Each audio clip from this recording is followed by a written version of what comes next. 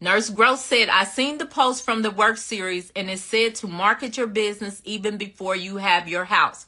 So how soon do you do this? And what if it takes a little time to get a home? It doesn't matter. Once the, it is a thought in your mind, you should be marketing your business. And when we say marketing your business, that might just be like put up your Instagram and your Facebook page or your Pinterest page or whatever pages you're going to use and then start speaking like you have a home or coming soon. Post pictures. Sharonica always tells people when you cook a meal, take a picture and say, these are the type of meals I'm going to um, serve in my home.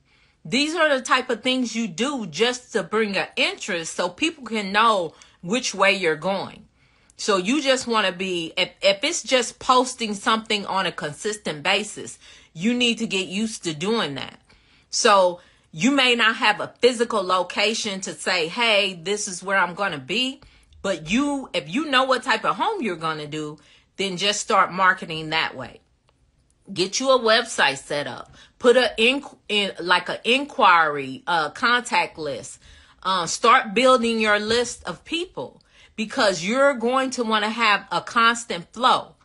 I always tell people you may want to invest in a CRM. A CRM um, basically helps you to keep up with who you, who you're contacting, uh, when you contacted them, things like that.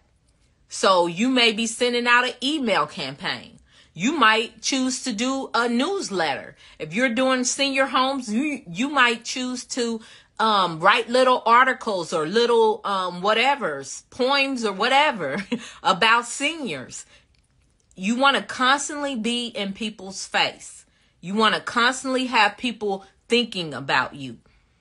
You don't want to wait till you have a home up and running before you start telling people you have a home up and running. Do you get what I'm saying? So you want to put yourself out there and the more you do it, the more you'll get used to doing it. And that in itself is a good thing. But I just, I really, really think people sleep on it when they do all this stuff to get their home together. And then once they get the home, then they're like, oh, I better market for it. I marketed a year before I had the home.